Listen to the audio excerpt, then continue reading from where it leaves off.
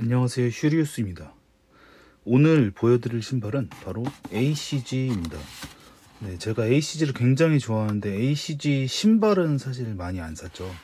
네, 이번에 구입했던 신발은 바로 여름 장화로 준비했던 ACG Mountain Fly Low입니다. 보시면 박스에 이렇게 All Conditions Gear다 라고 되어 있고 갱지 같은 박스로 되어 있습니다. Mountain Fly Low GTX Gore-Tex 버전이고요. Hazel Rush 색상입니다. 보시면 Gore-Tex라서 이렇게 Gore-Tex 스티커 하나 띡 붙여줬네요. 박스를 열면 어, 속지가 좀 거지같이 찢어졌네요.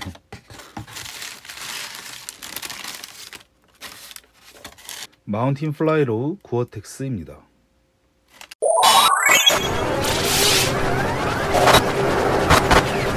사실 신발을 구매한 지는 꽤 됐습니다. 나오자마자 구매를 했었고 공홈에서는 역시 실패. 그래서 해외로 눈을 돌려서 저는 아마 SVD에서 구매했던 것 같은데 어, 이래저래 관세랑 배대지 비용 하면 막 꽤 많이 나왔던 것 같아요. 근데 지금은 가격도 많이 내려가 있고 적절한 가격 선인 것 같습니다. Mountain Fly Low는 ACG에서 야심차게 만든 트레킹화 라인이라고 보시면 될 것 같습니다. 등산화라고 하기에는 조금 더 경등산화 그리고 트레킹화에 가까운 신발이고요. 디자인이 약간 Yeezy 350과 비슷해서 처음에 좀 또 논란이 많이 됐었던 신발입니다. 지금 보시는 색상은 Hazel Rush 색상이고 약간 나무색, 갈색, 땅 색깔 이런 느낌이라고 보시면 될 것 같습니다. upper 모양 보시면 끈이 이렇게 주황색으로 포인트 있게 들어가 있습니다. 이 주황색은 좀 튀는 형광 주황색 같은 느낌이고요. 사실 이 부분이 전체적으로 socks runner, socks 슈즈 스타일이기 때문에 끈이 많이 필요가 없을 수도 있는데 이 끈 자체는 쭉 잡아당겨서 조일 수 있는 그런 스타일입니다. 전체적인 어퍼는 립스탑 같은 재질로 되어 있어서 ACG 마플은 기본적으로 적절한 발수 능력을 가지고 있습니다. 하지만 이 제품은 고어텍스로 이 안에 이제 고어텍스가 더 덧대어져 있다고 보시면 될 것 같습니다. 탑에는 이렇게 또 ACG 로고가 주황색으로 포인트 있게 들어가 있고 이렇게 풀탭 방식으로 되어 있습니다. 후부분은 이렇게 아웃솔이 앞부분까지 올라오고 위에까지 올라와서 이렇게 고무가 덧대어져 있는 구조여서 내구성을 좋게 만들어주는 것 같습니다. 측면부에 보시면 이렇게 나이키 새끼 스우시가 또 주황색으로 들어가 있습니다. 끈은 전체적으로 보시면 이렇게 뒷부분까지 힐컵까지 연결되어 있기 때문에 그냥 쭉 조여주면 한 번에 발목 부분을 좀 조여줄 수 있는 그런 역할을 하는 것 같습니다. 어쩌면 끈은 느낌적인 느낌으로 그냥 있는 그런 모양새가 아닐까 싶습니다.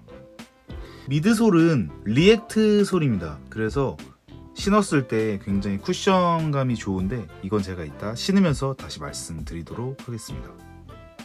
sock liner 부분은 조금 두껍게 되어 있어서 발목을 잡아주고 고정시켜 줄 수 있는 패딩 형식으로 되어 있습니다. 고어텍스 제품이라 이 안쪽에 보시면 이 안감이 고어텍스로 되어 있습니다. 그렇기 때문에 heel cup에서 고어텍스라는 점을 티를 내줘야겠죠. 이렇게 고어텍스 로고가 들어가 있습니다. heel cup에도 이렇게 pull tab이 달려서 신고 벗기에 좋게끔 되어 있고요.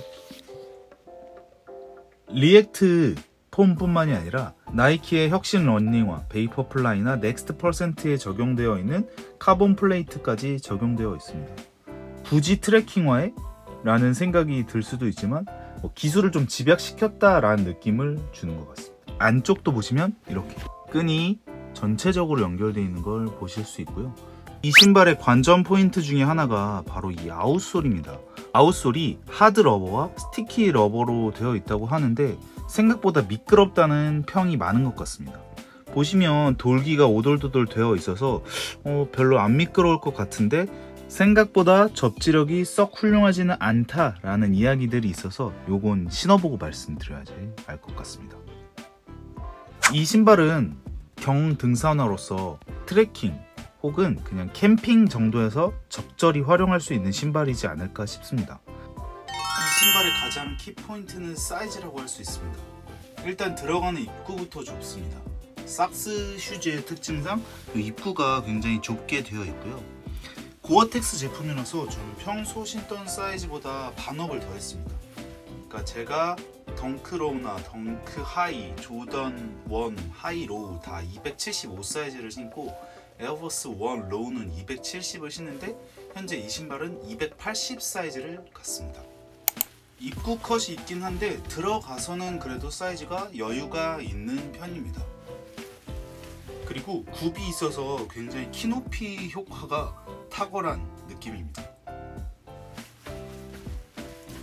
리에트 폼은 생각보다 엄청 푹신하진 않은데 어, 그래도 꽤 말캉말캉하다라는 느낌이 있어요. 제가 일부러 좀 두꺼운 양말 나이키 Essential Everyday socks 뭐 그 좀 두꺼운 양말을 신고 신어봤는데 뭐 사이즈는 나쁘지 않은 것 같습니다.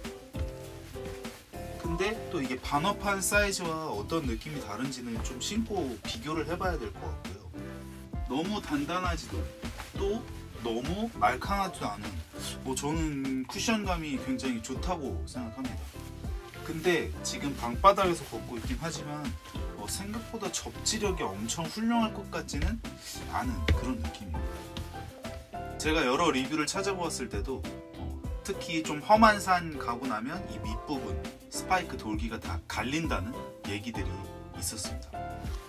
지금까지 나이키 ACG Mountain Fly 고어텍스 Low Hazel Rush 리뷰해봤는데 음, 색깔은 조금 끈에서 포인트를 줄 수 있는 그런 색깔이긴 한데 요거랑 같이 나왔던 또 Dark Smoke Grey 네, 그 색깔이 사실은 인기가 좀 더 있었던 것 같고 아예 좀 하얀색 버전으로 나온 형광색이 들어간 그 색깔도 있었는데 기본적인 트레킹을 하기에는 아주 괜찮은 신발이 아닌가라는 생각이 듭니다.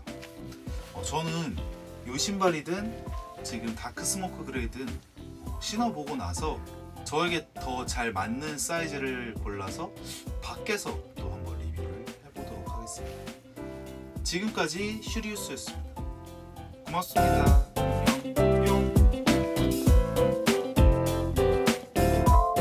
Mm-hmm.